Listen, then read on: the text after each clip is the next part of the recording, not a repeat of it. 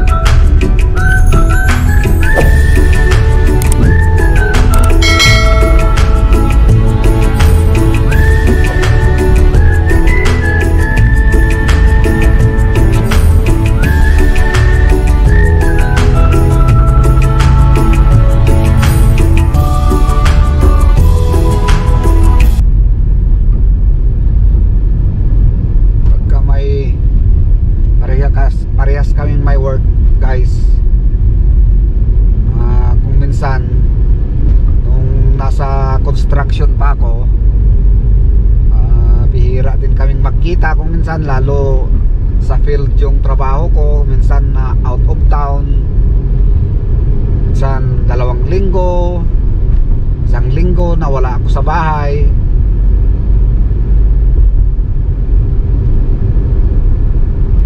Kaya kahit na malakas yung snow, kailangan niyang mag-drive pa din.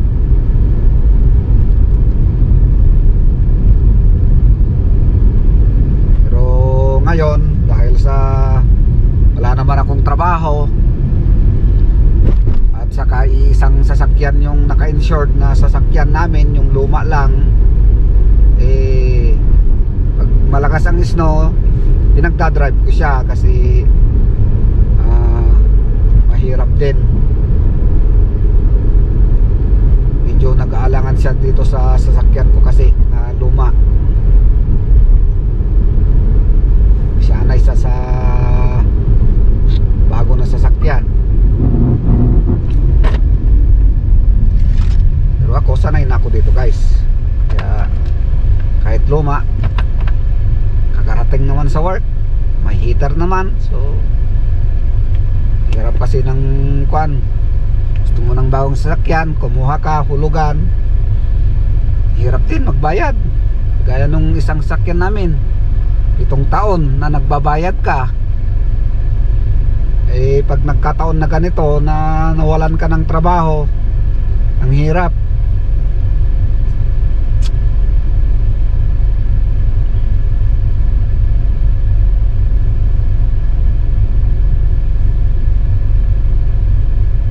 Kaya kailangan magtiis. Higpitan ang senturon ang priority namin ngayon ay yung mga bills. Kaya ng mortgage insurance ng bahay insurance ng sakyan monthly ng sasakyan. Yung food eh hindi masyadong pinoproblema kasi pagka kailangan ng food at walang pambili pwede kang tumawag sa food bank dito pwede kang humingi ng food yun nga lang di ka makakapili ng food kasi kung ano yung available na food nila doon yun ang ibibigay sa'yo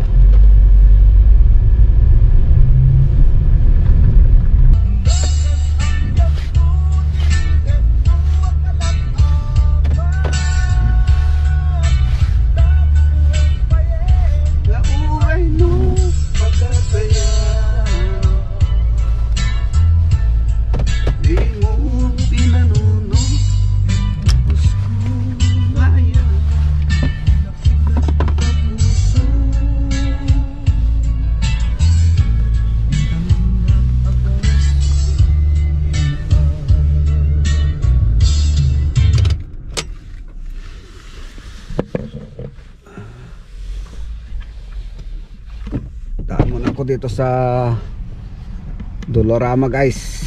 Kasi may pinapabili sila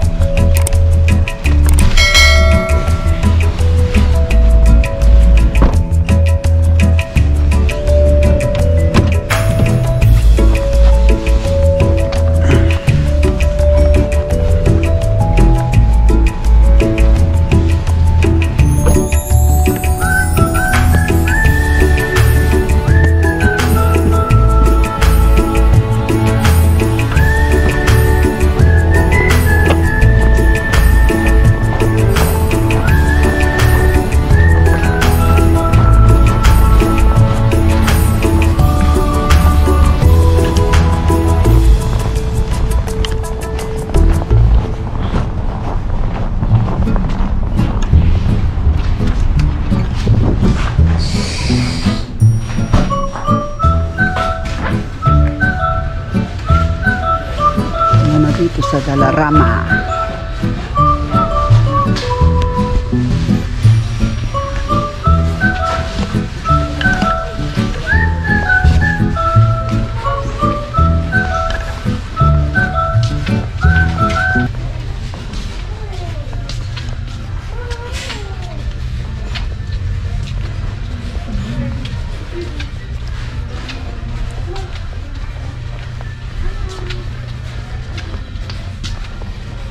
ang tindahan ng mga walang pera Dalarama